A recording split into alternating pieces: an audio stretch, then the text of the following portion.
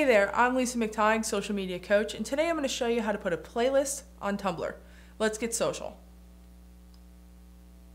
Alright, so I'm on my Tumblr uh, dashboard, and I want to upload my playlist from Hypster. Here's my playlist. So what we need to do is go to uh, the embed code, which I have already opened. It's hypster.com forward slash members forward slash embed.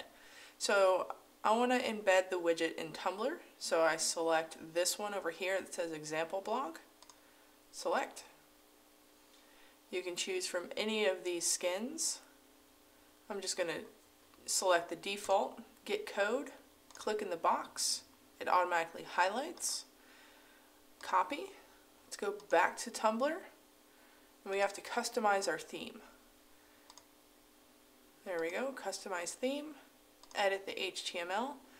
Now you have to put it right before the body tag, or right after the body tag. You have to put it right after the body tag. So I'm scrolling through my CSS. Oops, there we go. There's the body tag. Let's give it some room. And paste. There it is. Update preview. Save. Appearance. Save again.